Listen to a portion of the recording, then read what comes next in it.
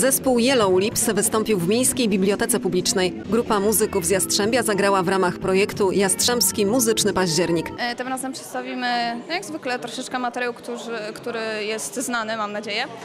E, Ale są też również nowe piosenki. Coverów będzie no z dwa. Także dzisiaj nie będziemy coverować, dzisiaj raczej przedstawimy swój materiał. Muzyczny Październik to projekt, który biblioteka organizuje z powodzeniem od kilku lat. W tym roku pod hasłem Jastrzębski Muzyczny Październik jest to w nawiązaniu także do obchodów jubileuszu miasta. Promujemy i lokalnych jastrzębskich muzyków. Projekt obfituje w liczne przedsięwzięcia. Zapraszamy także 25 października na godzinę 18.